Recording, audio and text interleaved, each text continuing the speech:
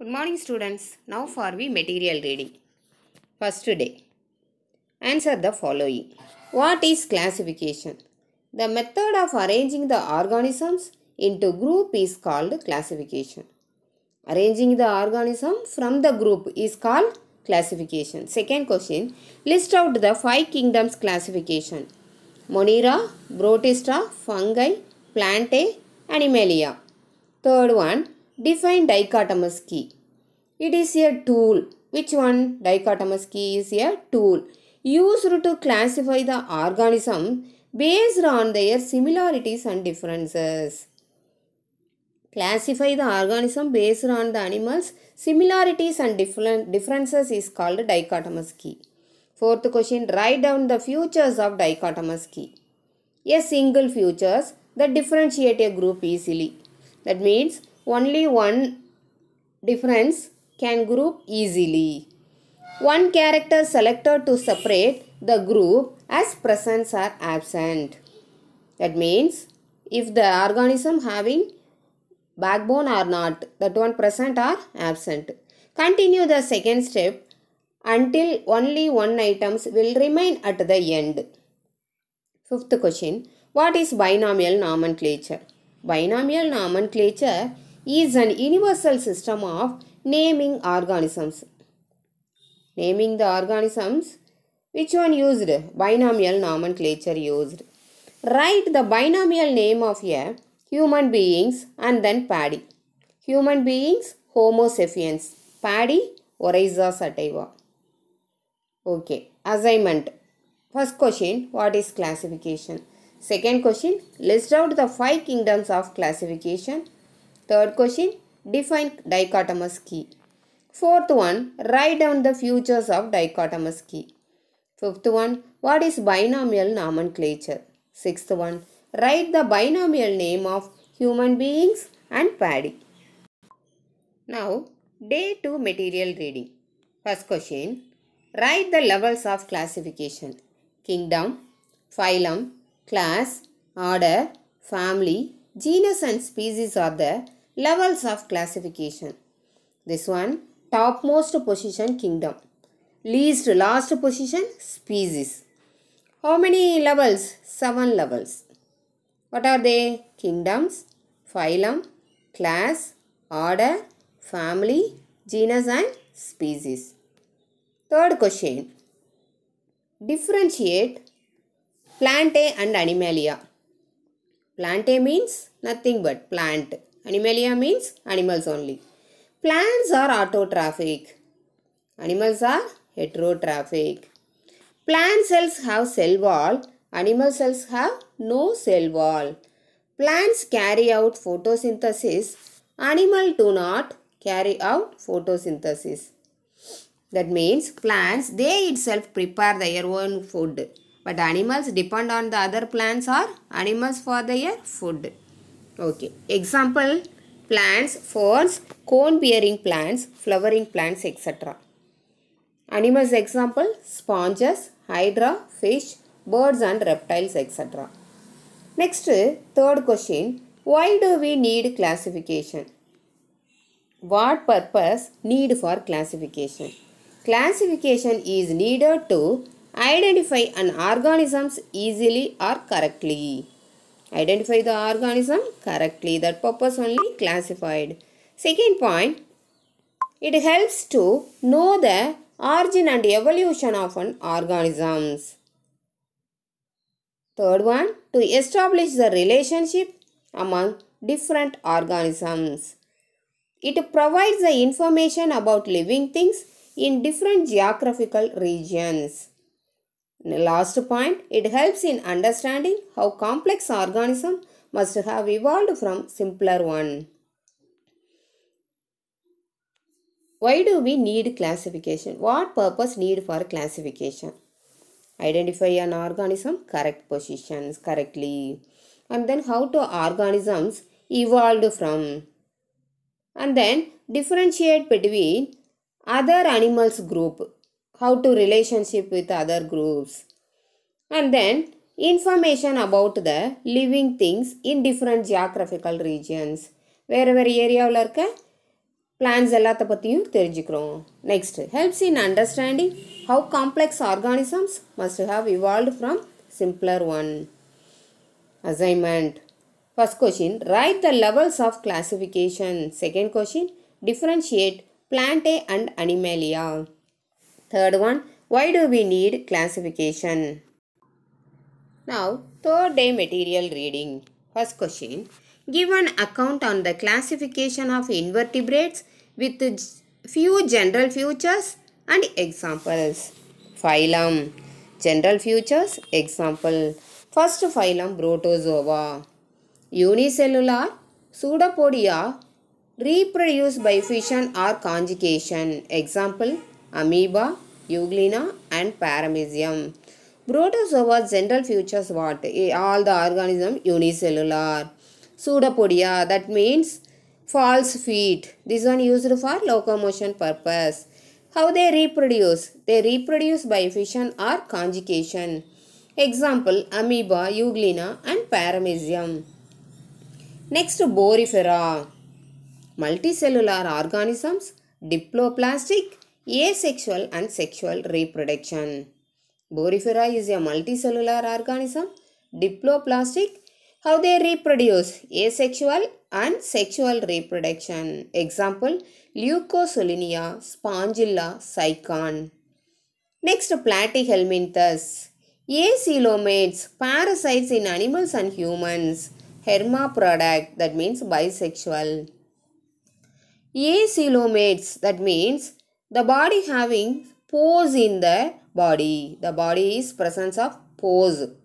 குழியுடலிகள்னு சொல்லுவோம் parasites in animals and human beings they depend on plants or plants and plants and animals and also human beings also parasites அப்படின்னா ஒட்டுண்ணி hermaphrodite that means bisexual the single organism itself having both male and female sexual organ example planaria liver fluke blood fluke tapeworm Next, arthropoda. Segmented body, pair and, paired and jointed legs, unisexual and exhibit sexual dimorphism. Example, crab, scorpion, prawn, insects, spider. Arthropoda, segmented body. The body is segmented. Paired and jointed legs. Legs are jointed legs. Example, which one? Crab scorpion, spider, insects. Next, mollusca. Soft bodied, unsegmented, muscular head. Sexual reproduction. Example cuttlefish, snail, octopus. Second question Explain the following terms. Which terms? Reptilia, apes, mammals. Characteristic of reptilia cold blooded, lung breathing, scales over the body, pentatactile limbs, adapted for climbing, running, and padding. Oviparous, cold blooded. Which one? Reptilia. How they breathe? Through lungs. All over the body, scales are present. Pentatactile limb. Penta means 10 adapted for climbing, running, and padding. They able to climb the tree, running, and also padding. How they reproduce? Oviparous. They lay egg. Next characteristic of aves. Warm blooded. Aves means birds. Warm blooded. Exoskeleton of feathers. Flight adaptations. Spongy bones with air cavities. Powerful eyes. Sexual reproduction. Oviparous. Which one? Aves. Characteristic of mammals. Terrestrial. Warm blooded. External ear or pinna. Muscular diaphragm. Non-nucleated RBC. Heterodont and diaphyodont condition. Viviparous give birth to young ones. Assignment First question Give an account on the classification of invertebrates with few general features with few general features and examples. Second question, explain the following terms. Reptilia, aves, mammals. Now fourth day material reading. Answer in detail. First question, write a short note on angiosperms. Plant body is well developed, well differentiated into two root, stem and leaves. The plant easily differentiate the root system, stem system and then leaves. They produce flower with four whorls. They produce flower. Which one? Angiosperms. Four whorls means that these four whorls only present. This flower is called whole flower. What are the four whorls? Calyx, corolla, androecium, gynoecium. Androecium and gynoecium. Androecium means male reproductive part. Gynoecium female re reproductive part. Calyx, the green color chapel, otherwise called calyx. The corolla, colorful part of the flower is called corolla. Hence, it is known as flowering plants. Which one? Angiosperms. Female reproductive organ, ovary is present inside the flower, which develop into fruit and ovule develops into seed. Ovary develops into fruit. Ovule develops into seed. Plants possesses well-developed vascular system with xylem vessel, phloem, companion cells. Xylem vessel, phloem vessel cells also present in that angiosperms. Second question. Write a short note on gymnosperms. Plants are perennial woody, and evergreen with true root, stem and leaves. They possess vascular tissues, xylem without vessels and phloem without companion cells. Ovules are naked without ovary, hence they do not produce fruits. Seeds are naked, example Pinus or Cycas. Gymnosperms plants are perennial woody, evergreen. Here also, the gymnosperm also, true root, stem and leaves are present. Vascular tissue present. How they present? Xylem without vessel. Xylem ku vessel கிடையாது. Phloem ku companion cell கிடையாது. Ovules are naked. How they formed? The ovules present outside the plant without ovary. The ovary is absent here. Hence, they do not produce fruits. So, they do not produce fruits. Seeds are naked. Outside plant only the seeds are present. Example, Pinus and Cycas. Assignment.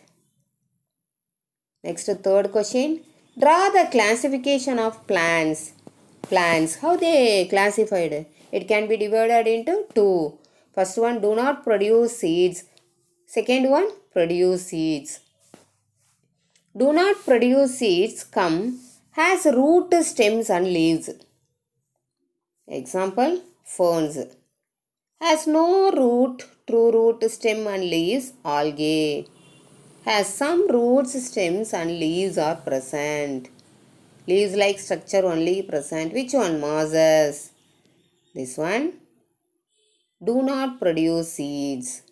Next, produce seeds. Non-flowering plants, flowering plants. Non-flowering plants otherwise called gymnosperms, flowering plants called angiosperms.